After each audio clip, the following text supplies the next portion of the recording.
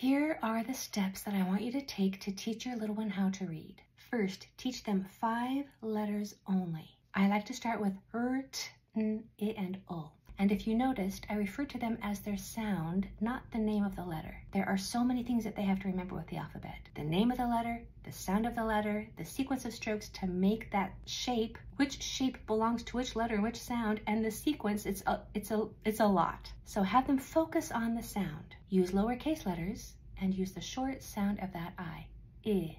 Teach them the mouth shape. The mouth is long, wide, and narrow, like a grin.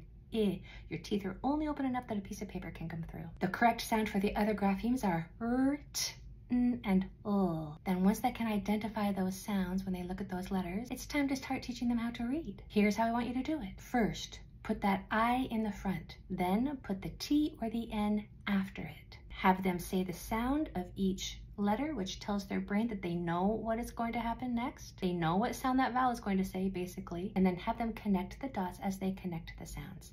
In or it. Don't put the R or the L at the end because that changes the sound of the vowel before it. But you can put them at the beginning and make a consonant vowel consonant word. It doesn't have to be a real word. We're learning how to read. We're not learning how to read words. We want them to know how to decode a word so that they can decode any word whether they have seen it before or not.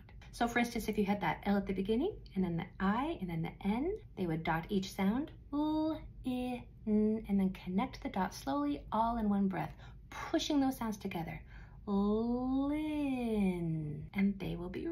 Continue to work with those five letters only, mixing them around, making sure though that that I is either in the beginning or in the middle never at the end. I's at the end make a very different sound. You can make up crazy nonsense words and decide what they might mean and watch their eyes light up when they finally realize that they are reading.